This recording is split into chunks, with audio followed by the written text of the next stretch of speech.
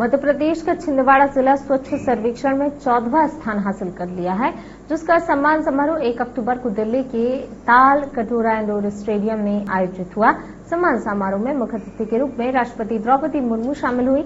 आवास और शहरी कार्य मंत्रालय के सचिव मनोज जोशी ने महापौर विक्रम अहाके, कलेक्टर सौरभ कुमार, सुमन और तात्कालिक निगम एक्ट को सम्मानित किया। मध्य प्रदेश में एक लाख से लेकर दस लाख तक जनसंख्या वाले शहरों में प्रदेश में नंबर एक स्वच्छ शहर के पुरस्कार से सम्मानित किया गया।